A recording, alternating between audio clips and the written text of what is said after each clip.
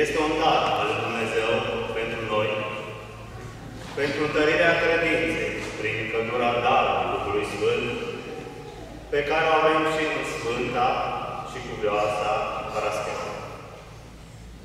An de an, la data de 14 octombrie, mulțimi nesfârșite de credincioși, iubitori de Dumnezeu și de Sfinți, pornesc de departe spre a se închina și se atinge de Sfintele Moaște ale cuvioase Parascheva, care din anul 1641 se găsesc în vechea cetate a Moldovei, fostă capitală Iași. Ce pune în mișcare această mulțime mare de oameni, această masă enormă de mare, de unde puterea lor de a arăta și a birui frigul, oboseala, nopțile, zilele, în care așteaptă plin de răbdare să se atingă de Sfintele Moaște. Câte generații de oameni s-au perigat de-a lungul timpului, în ciuda suferințelor și a încercărilor, au îngenunchiat la moaștele Sfintei Cuvioasă Parascheva, a luat un ajutor, mijlocitoare și apărătoare în rugăciunile lor. Zilnic, Sfânta Parascheva este mântuiere și încurajare pentru atâtea suflete obosite în lupta cu greutățile vieții. Dar cum vom putea noi prăzui, după cuvință, pe cea care, fire slabă fiind, prin ostenel fără număr, a biruit scurdările trupului, ispitele vrăjmașilor și s-a făcut Harul lui Dumnezeu, s-a făcut vas ales al Duhului Sfânt. Sfânta Cuvioasă Parascheva s-a născut în data, în preajma anului 1023, în satul Epivata, un modest sat de lângă Tracea, așezat pe mărul Mării, Mării Negre, lângă Constantinopol. Părinții ei au fost oameni de buznea și creștini adevărați. Au dat fiicei lor o adevărată, adevărată frică de Dumnezeu și aleasă evlavie creștină. Crescând în acest duh și împletind lucrul cu rugăciunea și cu milostenia, a făcut campul tot de sfârșit. Aceasta a fost pentru ea pârghia vieții și starea de fiecare zi. Tot în acest climat duhovnicesc și înălțător a crescut și fratele ei, Eftimie, care, ajungând episcop al regiunii Matitelor, a apărat urma lui Hristos împotriva rătăcirilor. Într-o zi, Sfânta Parascheva, pe când se afla în biserică, a auzit chemarea Mântuitorului nostru Iisus Hristos din Sfânta Evanghelie. De vrea cineva să vină după mine, să se lepede de sine, să-și ia crucea și să murmeze mine. Acest cuvânt a pătrus în ființa ei și a prins viața, astfel încât ea nu a mai trăit pentru sine, ci a trăit pentru alții. Aceasta înseamnă dragoste. Când nu mai trăiești pentru tine însuți, dar cine poate trăi fără dragoste? Atunci când iubești cu adevărat, când nu mai trăiești pentru tine, ci trăiești pentru persoana pe care o iubești, în cazul nostru, Iisus Hristos, Dumnezeul nostru. Supunându-se unei astfel de chemări, Sfânta Parascheva și-a dovedit ascultarea prin multe fapte alese, prin milostenii, și-a împărțit hrana și hainele scumpe celor săraci. Cât de frumos și de măreț este să vezi o tânără aleasă, îmbrăcând pe cei fără de haină și hrănind curile cele flămânde, iar bucuria lor să fie bucuria ei. Este un lucru sfânt să trăiești din bucuriile altora și din fericirile lor, din bucuriile semnilor tăi. Acest lucru Este semn de adânc altruism, de dragoste sfântă. Este semnul evident al nobleței sufletești. Aceste mari virtuți ale Sfântei Parascheva le întregea și cu rugăciunea, cu credința cea zătoare în Dumnezeu. Pentru a împlini porunca și a sluji lui Dumnezeu, cu mai multă putere, ea își părăsește casa și părinții, cu tot raiul ei destul de îndestulat, și pleacă la Ierusalim ca să se închine la Sfintele locuri, unde Domnul nostru Iisus Hristos și-a dat viața pentru mântuirea noastră. În drumul spre Ierusalim, vizitează și bisericile din Constantinopol și din alte localități. Se roagă la moaștele Sfinților, zăbovește o vreme cu cinci ani în orașul Heraclea, un oraș din Asia Mică, petrecând aspră de voință duhovnicească. Ajungând la Ierusalim, intră într-o mănăstire de călugărițe din pustiul Iordan, supunându-se și dăruindu-se total rânduielilor și vieții mănăstirești. Dorul ei de a trăi cele înfăptuite de Mântuitorul Iisus Hristos o face să cerceteze multe locuri din Palestina pentru a simți întrăire pe Domnul pe malul mării, Elizare, pe muntele fericirilor, ori în Betania, să laudă pe predicând mulțimilor și tămăduind cu toată puterea pe cei bolnavi. Aceste trăiri duhovnicești o fac o adevărată mucenică a lui Hristos. Ea s-a considerat chemată în apostolie tocmai cu Sfinții Apostoli. De aceea, ea îl predică pe Iisus pretutine. Iar Evanghelia vestită de ea este o Evanghelie a faptelor bune și a trăirilor cu virtute creștine. Dacă cuvintele convertesc mintea, faptele mai ales convertesc și cuceresc inima. La vârsta de 25 de ani părăsește țara Ierusalimului, țara Sfântă, și se întoarce la Constantinopol, cetate slăbită pe atunci, cu multe biserici, ca Sfânta Sofia, apodopera creștinătății, Biserica la Hermen, Biserica Sfinților Apostoli, pe care le vizitează, se, care, și care se roagă și se închină cu multă credință cu Dumnezeu. În curând, ea se întoarce în satul ei natal, Nepidala, încărcată cu toate harurile Sfințeniei, pe care le-a dobândit în locurile sfinte, unde a fost și s-a rugat. Și precum toată viața ei a purtat în sine chipul de sfârșit și al smereniei, tot la fel și acum, monahie fiind, ne arătând nici, nici neamul ales, nici frumusețile virtuți, s-a atașat neștiută de nimeni de Biserica Sfinților Apostol din satul ei natal, timp de 2 ani. La vârsta de 27 de ani, la o vârstă adolescentină, se spune, s-a mutat la odihna cea cerească. Trupul ei cel sfânt nu a văzut putreziciune, precum spune și Sfântul Ioan Damaschin.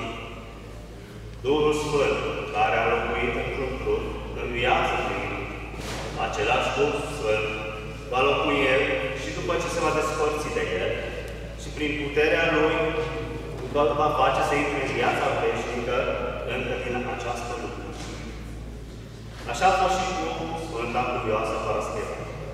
Căci Duhul Sfânt, care a locuit în trupul ei, neprihănit toată viața, ca într-o biserică a lui Dumnezeu, a locuit și după moarte. A făcut ca el să nu vadă stricăciune, ci să rămână prea slăvit.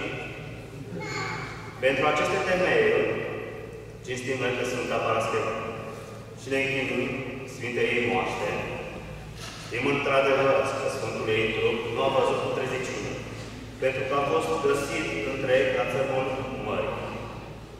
Se spune că Sfânta Cuvioasă Parascheva a fost îngropată ca o străină, neștiută de nimeni.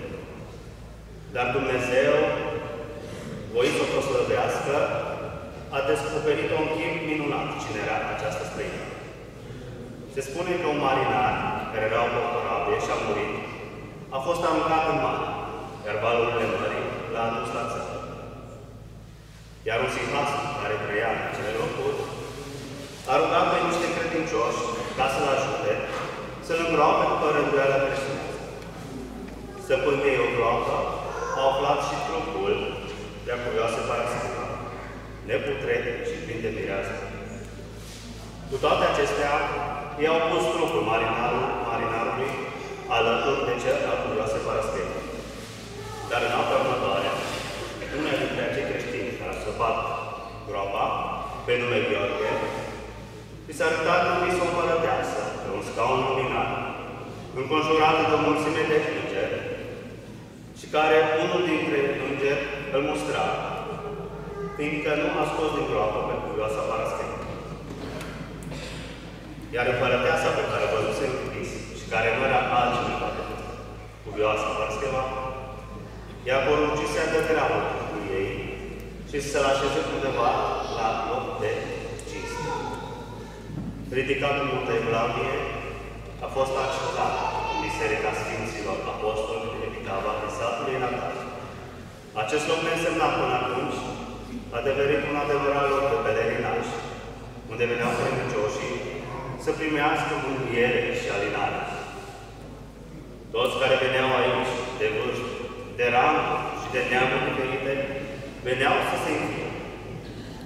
Cât de puternică este credința care le și frățește pe credincioși să trăiască în pace și în armonie prin vedea aici.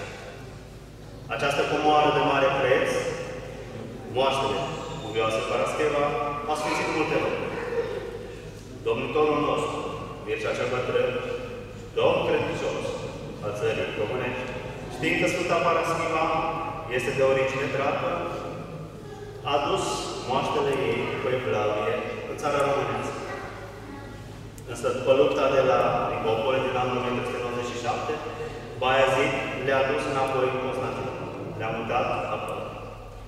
În anul 1641, la 23 iunie, domnitorul al Moldovei, Vasile Lupu, multă cheltuială și o să fie, le aduce în țara Moldovei și le așează la Iași, în Biserica Sfinții Treiera, unde a stat o perioadă de timp, ca apoi să fie mutate în Catedrala Sfintei Mitropolie.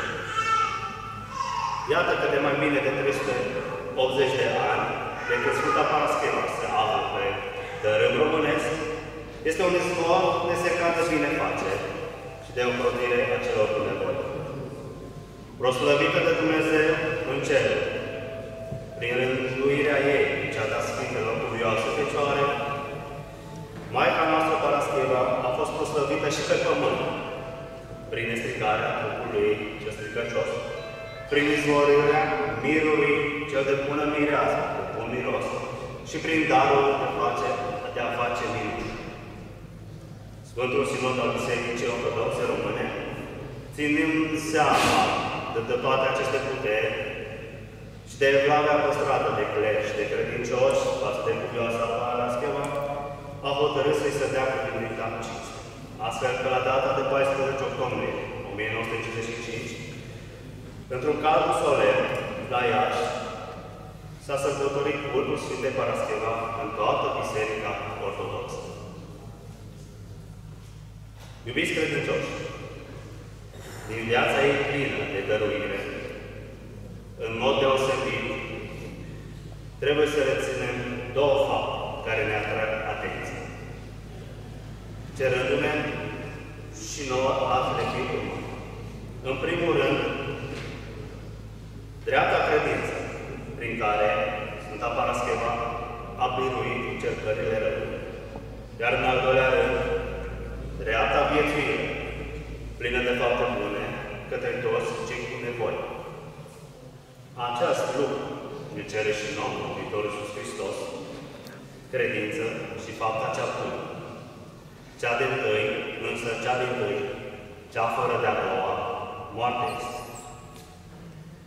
Pentru slujirea Mântuitorului Iisus Hristos, Sfânta Parascheva a renunțat la toate cele trecătoare, s-a curățit pe sine, precum un diamant scos din adâncurile pământului. S-a identificat cu cei cu nevoie, slujindu-i, ajutându-i, devenind, devenind astfel o adevărată lumină care luminează viacul întreg și toate generațiile ce se perindă la Sfintele Imoaște. Virtuțile dobândite în viața ei, mult ocrotitoare și luptele necurmate cu darurile credinței, ale rugăciunii și ale răbdării și, în ultimul rând, ale nădejdii. Ne gândim că Sfânta Cuvioasă Parascheva a trăit în secolul al XI, de vremea când Biserica de răsărit și de apus, Biserica creștină s-a două. Era atunci apus și răsărit, însă Biserica era ună. Ea a trăit tragedia despărțirii a marii schisme, însă a rămas credincioasă, a rămas ortodoxă. Pe lângă problema credinței, ispitele tinerele ale vieții și mai ales ale vieții monahale, care nu lipsesc, a dus-o de multe ori la de, de năzdere. Însă a biruit. Viața ei ne demonstrează care și să biruiască de deznădejdea, ispită care pentru noi oameni, ziua de astăzi, este o mare rană, mare problemă. Pentru că trebuie să o întâlnim la tot pasul, începând cu noi și continuând cu cei din jurul nostru. La aceste virtuți suntem chemați și noi, de către cuvioasa Parascheva, să urmăm un model de urmuș pentru fiecare creștin. Ea purul mijlocește pentru toți, toți cei care o cheamă în ajutor și se ating de Sfintele ei moaște. Iubiți credincioși, un mare și de preț dar avem în mijlocul nostru, și anume Sfintele ei moaște, care neîncetat lucrează minuni tuturor celor ce cu credință o cistesc. Câți bolnavi care n-au fost la moaștele ei s-au închinat, s-au vindecat. Au venit la ea și au cerut ajutorul, iar ea i-a ajutat. Câți n-au găsit mângâiere, ajutor și încurajare, sprijin. Câți n-au fost călăuziți spre o viață plină de bunătăți și de bună credință. Așadar, aprinzându-ne în suflet credința cea lucrătoare, în fapta cea bună, să strigăm cu toții. Bucură-te, Parascheva, multă profitoare, celor ce cu evlare și cu credință se închină și încistesc moaștele tale. Amin. La Tatălui și Fiului și Sfântului Duh. Amin.